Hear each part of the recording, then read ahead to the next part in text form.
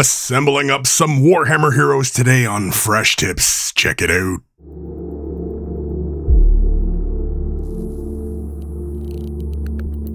Hi there, Kris here with another fresh tip for you all. In this video, we are going to take a look at the new Warhammer Heroes Series 4.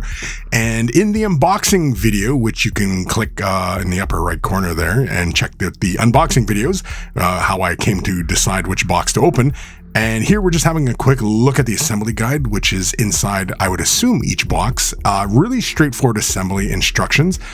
Now, the one thing that I will note that is quite interesting uh, with this assembly guide is that it does, you know, pretty much cover the bases, especially for somebody who's brand new to this hobby. And I think one of the interesting things here is, as I'll demonstrate, the um, ability to push the parts free from the frame. Normally, with all of us wargamers and modelers and hobbyists, we use clippers to remove parts. But here with these frames, they design them with the absolute newbie in mind when uh, you know assembling up these models. They're push fit and yeah, require no glue, no tools. You can just simply take the parts and assemble the model, and away you go. Mind you, though, uh, as you can see here, as we have a closer look, there are little nubs that occur, and so it is better to take a hobby knife or you know a mold line scraping tool or anything like that to knock those little uh, nubs down. And typically with the uh, hobby knife, I blade off the initial part, and then I will turn the blade perpendicular to the model surface and begin kind of scraping down the surface and planing that face down uh, to get it nice and smooth. Now, this is normally the kind of steps you do when you are really concerned about uh, you know, making a nice, clean, finished end result of a miniature once we get painting it and everything like that. But for everybody else out there, uh, there are simpler tools out there, like, for example, this hobby uh, mold line scraping tool. Uh, this is the newer one from Citadel, and it does the job really, really well. And here it even has this little notch here, which is designed for these little bases. You can see here, it would just, it is the perfect length and width, and it gets right into that surface, and it planes it nice and smooth. And I figured I'd just demonstrate this just for everybody watching this because I'm going to assume that are, there are some of you out there who are really new to this hobby and you've clicked this video and you're like, ah, I don't know what to do. I want to watch this and see if this helps. Hopefully, this helps. There are many tools, but again, as I demonstrated, you can just simply free these parts from the frame and, you know, away you go, sort of thing. Um, but otherwise, with the smaller parts, now here, um, this is a shin plate as well. This is part one and two, and I'm following the instruction guides at five and six. One of the one, I can't remember what they are. Anyway, you pay attention to the frame. The parts are numbered. You pay attention to your assembly guide and just go through the steps. When you have that little box on the assembly guide, you can see there's a little white box and it shows. Do that box first before going on to the rest of the assembly.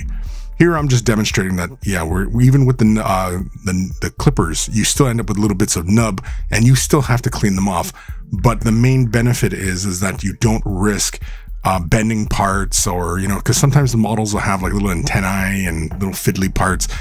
And when you're busting them off the frame like that with your, with just your strength of your hands, you will stress that plastic. And when you know you've done that, you'll see the plastic turn kind of white, depending on whatever color plastic it is. Even if it's just gray, you, it will turn white.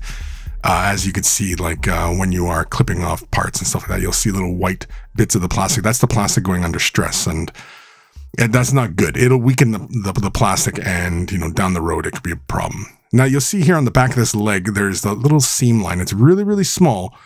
But again, this is the extra steps that typically a lot of wargamers will go through and modelers will go through to make sure that they have a nice smooth surface. I'm just going to use my hobby knife. I'm not going to bother using the mold line scraping tool for this. And with this, I just simply hold the blade perpendicular to the surface and lightly drag it across and it just knocks that little line down. You can see the little shave marks and that is fine. But once we throw primer on this model, that'll disappear and it, it'll all look really uniform and flush and it'll look just the way you want it to look. It'll look closer to the box art than not doing it. So I highly, highly recommend taking the time to do these kinds of steps. Now, interior details, like inside the shin there where that armor plate will cover that over, I'm not too worried about that mold line. So it's really only the mold lines that are very visible to the viewer and to yourself as well. Now, when doing curved surfaces like shoulder pads, knee, uh, feet, anything like that, uh, typically uh, I'll use the mold line uh, scraping tool or my blade, but sometimes it does require a, a, a, sanding tool, like a file or something like that. So here I'm just using a, a metal file, small metal file, very lightly, and I'm just running it along the surface and I'm changing the angle. You notice that the bit I'm holding, uh, I change the angle a little bit and just, just so I don't get no flat surfaces as I'm moving the file along. And with that, uh, it's pretty straightforward. Again, it can take some time.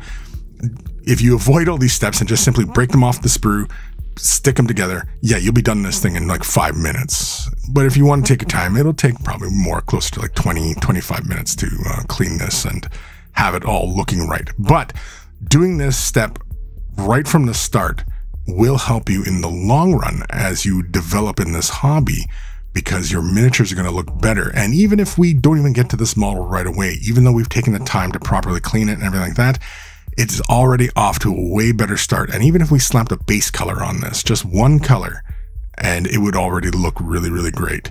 Here I'm just demonstrating just cleaning off the small little parts and everything like that. And again, uh, when you're using your hobby knife, cut away from yourself. Um, when you see me using the tool on the plastic, I'm not applying a lot of pressure. It's not a lot. To glue the parts together, I'm going to use Tamiya Extra Thin. Citadel uh, has their own uh, plastic cement. I highly recommend using plastic cement as opposed to using, um, you know, uh, CA glue, cyanoacrylate glue, super glue, right? Uh, just because it does not form, it forms a strong bond, but it's not a very good bond, especially for small plastic parts like this. This type of glue melts the plastic, and I only applied it on that seam line where that armor plate met up with the rest of the leg, applying a bit of pressure there, and that's it. That's all you need. You just give it about 15, 20 minutes to uh, set up, and you can come back and continue working, and which is what I'm doing here. Here I'm demonstrating that peg going into that leg might feel like a bit of a tight fit. Now, if you're just simply going about and not using any glue, not using any tools, yeah, just slap it together and carry on with your day. For those of you who want to take it just a little bit further, I'm going to show you typically what I do for these kind of push fit type models to make sure that peg does not interfere with the assembly. Um, obviously, because sometimes the, the it can have a gap in the parts and everything like that. So here I'm basically uh, just holding the blade, running it along that peg uh, at about a 45 degree angle to that surface. So it's not quite perpendicular. It's a 45 degree angle. And it's just to uh, put a bevel onto that peg so it slides into the hole a lot easier. And also when you put glue on that end, because you've really kind of um, marred up the surface, the glue penetrates faster and deeper and better into the plastic and giving you a far better bond. Again, like I said, this uh, plastic cement melts plastic. And so it's like the parts are being welded together. Anybody knows how strong metal on metal being welded together is? Well, plastic's the same way. Here, I'm just using a little bit more glue just on that seam line there. This, again, I will do that periodically throughout this video. That's just to reinforce where I've glued parts together. Uh, I like to have a nice, thorough bond when I'm gluing parts together um, as you game and everything like that for if you're planning on becoming a gamer taking these things into a game, uh, you know, the parts are going the models are going to fall off the table and dice are going to hit them and all these kinds of things. And you don't want the models breaking and falling apart on you during a game. Here, I'm just demonstrating another part here. This is the head and I've loosely fitted it in with my finger and I'm going to use this tool here. This is the, um, the, um, hobby knife tool. And I'm using the back end because it's kind of got this hard rubber end to it. And I'm using that to push that in rather than using something hard that could damage or even bend the plastic. And so, and here I'm just using a bit of glue here just to reinforce that point. I'm putting a little bit of glue on this peg and I also put it on the seam of the torso, uh, the armor of the torso. Again, this is all to help make a nice solid bond. I'll do it down by the hips and also down by the collar as well and then we'll slap this back piece on. Now the back piece, actually there is a gap here. And as I was mentioning, it's like, oh, there's a freaking gap. Okay, well, the, I, the parts weren't going together properly. So what do I do? Well, again, we could bevel those edges to make that uh, fit better, or I can just simply take my clippers and I will knock about a millimeter off, a little less than a millimeter, like a very, very tiny amount. It's really only a small amount that you need to knock off. You don't have to knock off the entire pin. It's not going to hurt you if you knock that entire pin off. It's just, you know, it's going to slow you up a little bit and you got to make be a little bit more careful as you push fit these uh, parts together again. But after uh, we finished with that, uh, you can see here how the parts are uh, sticking together. And then I also put a little bit of glue on the uh, seam as well. Uh, again, just to make sure that that was all adhering properly. We'll do the backpack as well. And normally, for uh, a lot of painters, people who take their painting uh, very seriously will leave backpacks and other parts uh, off from the model. Typically, we call that a subassembly, and that just makes it easier to get into these areas. But I'm not too worried about that. I'm going to go about this the way many of you out there will most likely go about uh, assembling and painting this model. So, you know, stay tuned for all of that. And we are going to paint this model. Here, I'm just simply slapping the arms into place. Thankfully, the pegs that come out from the torso, they're keyed a specific way, so the arms actually do not rotate on that peg. You'll see there's like a, a half kind of cylinder removed from the peg, and that's uh, just so that the parts fit together properly. And it's uh, it's a keying method, so the parts don't move and I think that. And it just makes it easier for new people to to assemble these models and uh, you know not make any boo boos, as it were.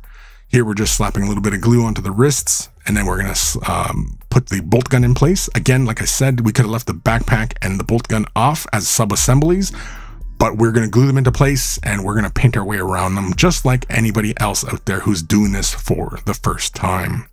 Also, the model itself is free from the base. A lot of times, a lot of painters will leave the miniature free from their base so that they can paint it entirely and then uh, glue it to its base. But here we're going to glue it right down to its base. Again, we're going to do this just like anybody else who's brand new to this hobby, just to demonstrate for all of you that this is really, really straightforward. This is really easy. It's not terribly compli complicated. I'm showing some uh, more, I wouldn't say advanced, but um, some more advanced type techniques as you develop as a hobbyist. One of them being drilling out the barrels. This is a, a little pet peeve of mine. Uh, you can see the uh, the barrel on the gun uh, where the exhaust ports are, and also where the bullet should come out is completely solid. So with my hobby knife, I'm going to plane that surface uh, relatively smooth. Not it's already smooth to begin with. I'm just cleaning off that mold line and everything like that.